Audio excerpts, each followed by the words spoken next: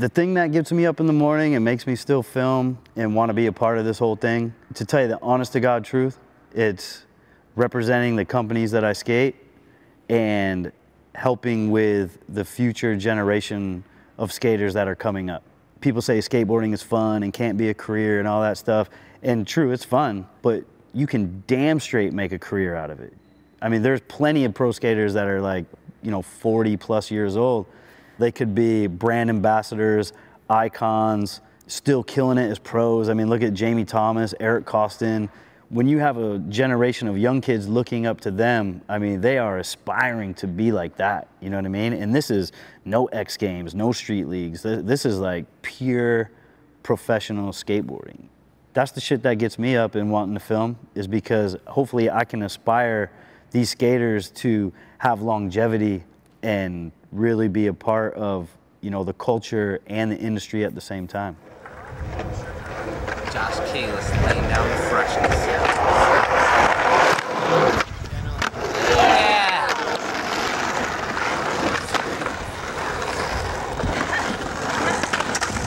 I hate when you do that. What? Took me too many tries. Took me too many. You got, the, you got the crowd of yas behind that one. Yeah, I'm originally from Grand Rapids, Michigan. Let's say it looks like this. And here's Detroit. Grand Rapids is here. Chicago's here. So I was 12 years old when I started skating. Because I remember it was the summer between the sixth grade and the seventh grade. And I had to mow lawns to get my first real board, you know. My first board was a Steve Caballero blue graphic with the Bonite. And then I fine-tuned my first year of skating because my, my mother lived in New York City. So I would go spend summers with her. There was like more freedom because I didn't have the greatest skateboarding support, you know, living with my dad in Michigan. But when I would go to New York, she was just kind of like, bye, you know? So I would just meet up with some guys and we thought we were exploring the whole city, you know what I mean? But really we were only going like six blocks around Queens. And when we went, I wanted to go downtown and skate when, in any city I was in because that's where the skaters would be. I'm not sure where that came into my life, but it was literally like the more people I'm surrounded with, even if I don't know them, but they're we're doing the same thing. That was the fun, you know. And the stuff that I related to most was like the early uh, Embarcadero stuff. For me, there's Mike Carroll can't look any better than when he's skating Embarcadero. But when he's skating like some random thing over here, like it doesn't affect me like it does when I watch him skate Embarcadero. So that was probably one of my biggest influences ever to this day.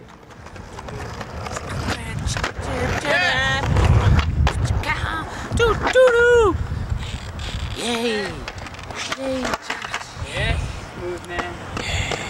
Oh, here we go. The trick. All that just for that.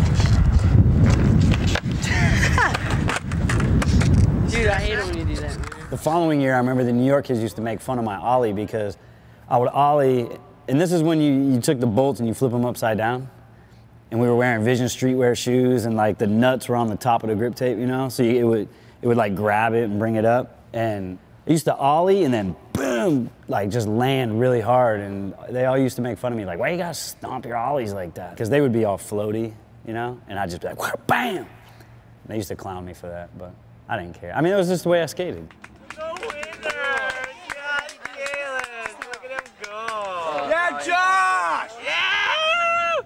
By this point, I was in it. That's all I did. That's all I could think about was just skating nonstop. It, it, it even infected my school because I would skip school to go skate, or you know, I would. It, everything was just skating my whole life. Big problem I've had growing up was like anti-authority, and I always wanted to follow my own rules. You do that in front of the girls, man. So my dad got a job transfer from Grand Rapids to Rockwall, which was like a way north suburb of Dallas.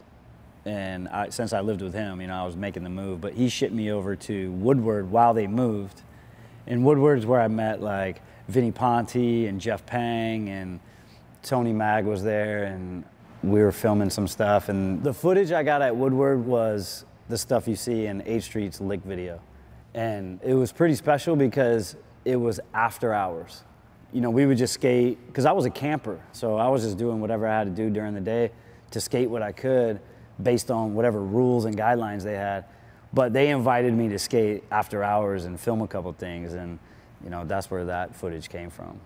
So when I did go to Woodward and I did hook up with Tony Mag and got free boards, like obviously I was super excited, but it wasn't like changing my program on how I felt about skating, you know, because skating to me by this time was like it was my lifestyle, you know, it wasn't it wasn't a job, you know. Now I just get free boards, I get to do what I want, and I don't have to like hustle to get boards. And then from Woodward, I went to visit my mom, and my mom moved from New York City to the suburbs of Philadelphia. So that was like my first introduction to Philly. I remember on, on that trip, I met a couple guys, Matt and Pete were their name, and uh, they always, they'd always skate the suburbs, and I just wanted to go downtown and check it out. And so finally we went after they made fun of the way I say downtown forever and ever. We went down there, and first place we went to was Love, and it, it wasn't even really skated. Like I remember I met Roger Brown that day.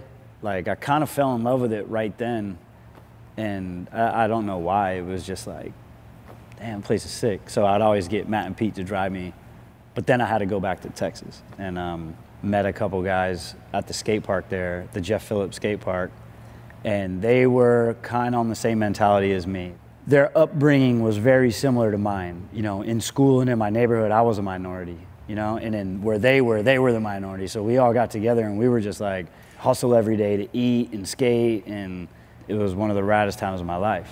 But I had huge problems in school there because I'm wearing huge pants that are cut off below the knee, ultra baggy polo shirts. I mean, we were kind of crazy looking at skaters, you know?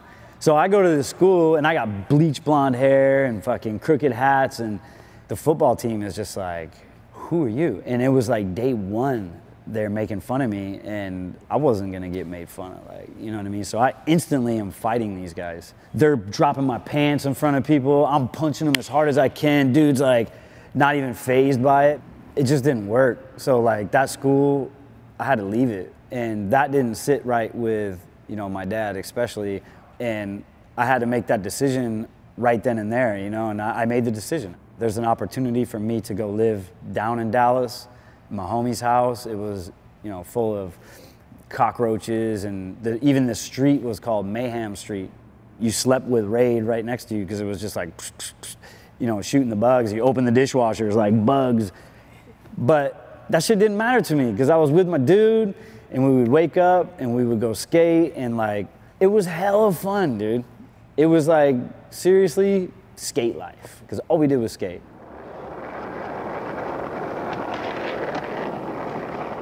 This point in my life, it took like a drastic turn because even though I wasn't with my dad, I was still like, you know, I still had my room at his house and I still had my stuff.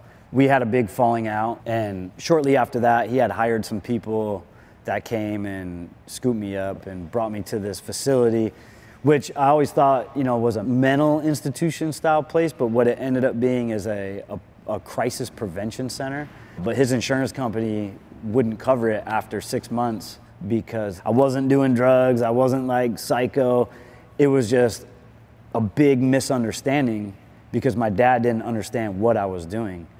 And when I got out, I wasn't sure if I missed my opportunity because when I tried to get a new skateboard, the folks at H Street were like, they wouldn't send me any more boards. I was like off the flow list.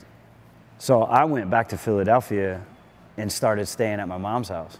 And that's when I met Stevie and Rasul and Terrence and Jason. And that's when really we started skating love. And at this time, like dudes were already skating it. Like Ricky Oyola was there, Matt Reason was there, they had a little crew that was skating there every day. But this is the love park that everybody would dream about. This is the love park that you didn't get kicked out.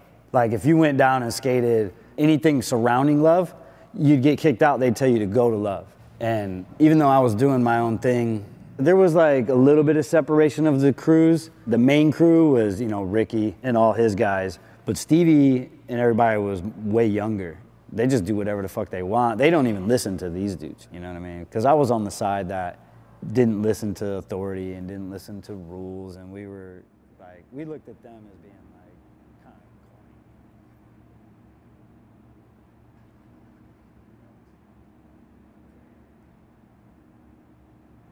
I left and I was gone for a while, dude. I was like, after I left, I lived in Michigan, Dallas, San Diego, because that Dallas, after I left Philly and then Michigan and went back to Dallas, like that was the Dallas trip Jamie came. Chill, good. Last try too. Come on, go ahead. Go on that side of it.